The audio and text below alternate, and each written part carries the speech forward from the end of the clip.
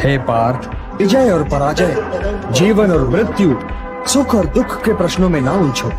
और युद्ध करो पार्थ, कर्म करो, सुख दुख, लाभ, हानि, जय, पराजय, सबको समान समझो और युद्ध करो, कि यही तुम्हारा क्षत्रिय कर्तव्य भी है और मानव धर्म भी। केवल कर्म करो, कर्म।